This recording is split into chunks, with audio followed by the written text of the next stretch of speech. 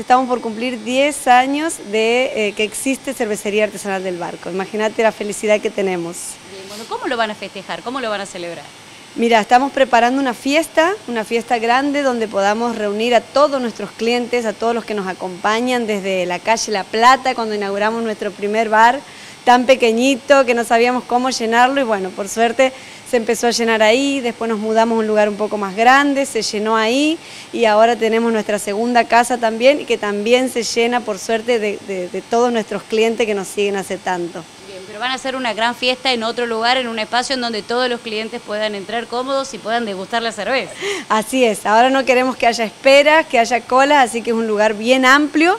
que si bien va a ser con entradas limitadas, porque no queremos excedernos a, en la organización, en el volumen de cerveza, las comidas van a ser limitadas, va a haber un tope de personas,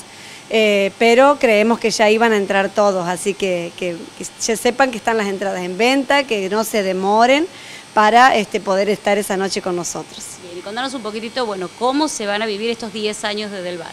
Mira, estamos preparando en un lugar que es al, al aire libre, es Palos Borrachos, un lugar que trabaja ya en gastronomía,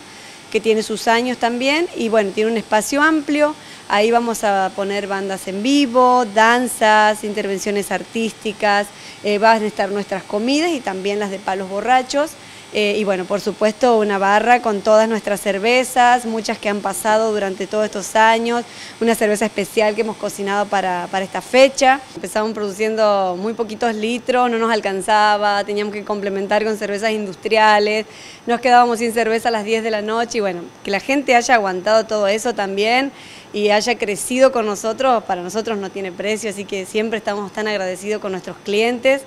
que, nos acompañan desde ese momento y, han sabido esperarnos, esperarnos a que hoy ya no nos quedemos sin cerveza, que todo el tiempo les estemos dando cosas nuevas, así que bueno, eso para nosotros es, no, tiene, no, tiene precio. un equipo bueno que se mantiene, que fue creciendo también.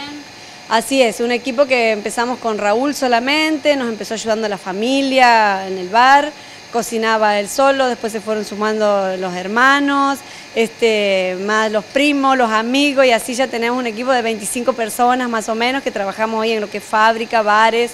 y,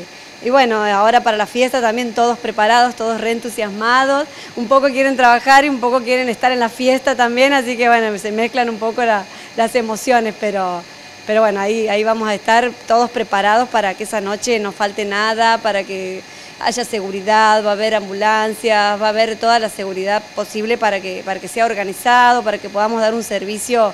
a lo que están acostumbrados también nuestros clientes.